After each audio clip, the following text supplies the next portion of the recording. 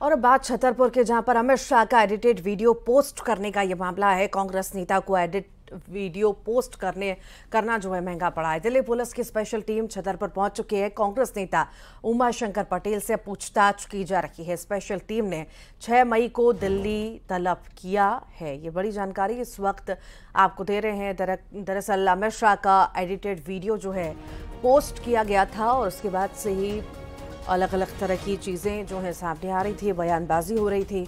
और अब इस पूरे मामले को लेकर के कांग्रेस नेता को एडिटेड वीडियो पोस्ट करना महँगा पड़ा है। ज़्यादा जानकारी के लिए नरेंद्र सिंह परमार हमारे साथ जुड़ गए हैं।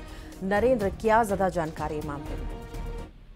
देखिए, ऋतु ऐसा है, छतरपुर शहर का सिविल लाइन थाना है, जहाँ पर दिल्ली से आज स्पेशल टीम आई हुई थी और स्पेशल टीम द्वारा जो कांग्रेस के जो नेता हैं सोशल मीडिया प्लेटफॉर्म पर जो केंद्रीय गृह मंत्री अमित शाह, इनका एक एडिटेड वीडियो उन्होंने पोस्ट हुआ था, जिसको लेकर दिल्ली से स्पेशल सेल की दो सदस्यीय टीम सिविल लाइन थाना पहुँची थी और जो कांग्रेस के जो आईटी सेल के जो संयोजक हैं उमा शंकर पटेल, उनको सिविल लाइन थाना बुलाकर उनसे सख्ती के साथ पूछताछ की गई है। पूछताछ के बाद स्पेशल टीम ने उनको छह मई का नोटिस थमाया है, दिल्ली तलब किया है, छह तारीख को वो दिल्ली आकर फिर से उनसे बातचीत करेंगे। और छतरपुर एसपी ने इस पूरे मामले की जानकारी दी है और चूँकि मामला हाई प्रोफ़ाइल है देश के गृह मंत्री हैं अमित शाह उन, उनको लेकर एक सोशल मीडिया पर इस तरह का वीडियो एडिटेड वीडियो वायरल किया गया था जिसको लेकर दिल्ली की स्पेशल टीम यहाँ पर छतरपुर पहुँची हुई थी।